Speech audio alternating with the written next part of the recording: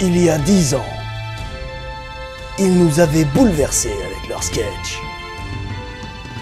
La reprise des petites annonces d'Elie et Franck Dubosc.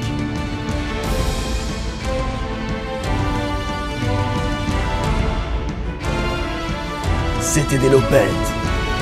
Mais désormais, ils sont de retour. Are you ready?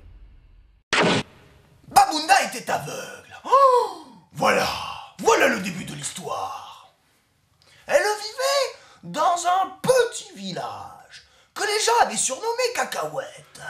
Cacahuète Babunda, petite fille aux yeux de pierre, gambadait. Ah, elle gambadait. Pourquoi pas? Et César, le plus ancien du village et le plus sage, Oh, Anemoko Oh, Anemoko avait surnommé Babunda la bien nommée Oe. Aïe Babunda, petite fille aux yeux de pierre et aux cheveux de corbeau, voulut se désaltérer dans la rivière, la rivière qui ne pleure jamais. Car dans le pays de Babunda, il ne pleut plus depuis les quatre saisons de Vivaldi. Oh Oh Babunda décida alors de partir vers le Grand Nord. Ah Et l'histoire s'arrête enfin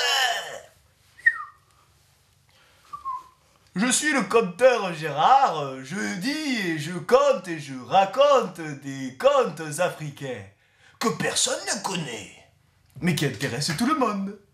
Babunda, petite fille aux yeux de pierre, les cris de la nuit.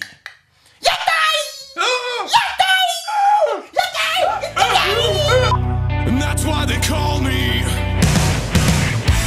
Bad Company. I can't deny. Jean-Maurice était aveugle. Oh pétard Là voilà le début de l'histoire.